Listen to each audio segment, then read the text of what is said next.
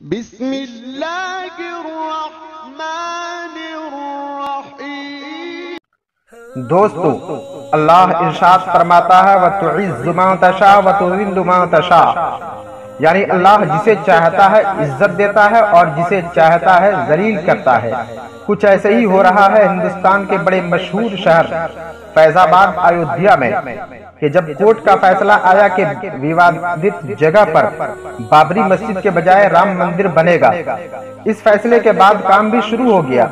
मगर जैसा कि खबरें आ रही हैं कि इस निर्माण कार्य में परेशानियाँ आती जा रही हैं। और जैसा कि खबरें मिल रही हैं कि राम मंदिर की तामीर के लिए 10 पिलर्स खड़े किए गए हैं। मगर यकायक सबके सब पिलर्स हिलने लगे।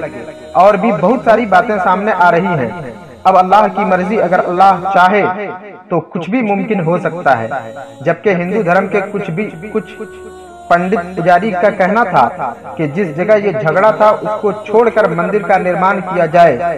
क्योंकि वो जगह हिंदू धर्म के हिसाब से अशुभ हो जाता है, जिस जगह पे विवाद हो। लिहाजा विवादित जगह से हटकर मंदिर का निर्माण किया जाए।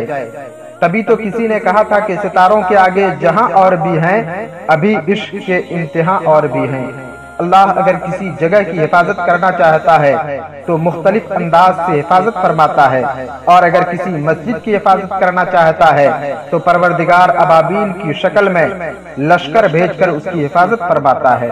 नाजरीन, मुझे उम्मीद है कि वीडियो पसंद आई हो तो दिल से लाइक करते हुए दोस्तों को शेयर ज़रूर कर दें और चैनल से जुड़ने के लिए सब्सक्राइब बटन को दबाकर बेल आइकन को प्रेस करना ना भूलें। अल्लाह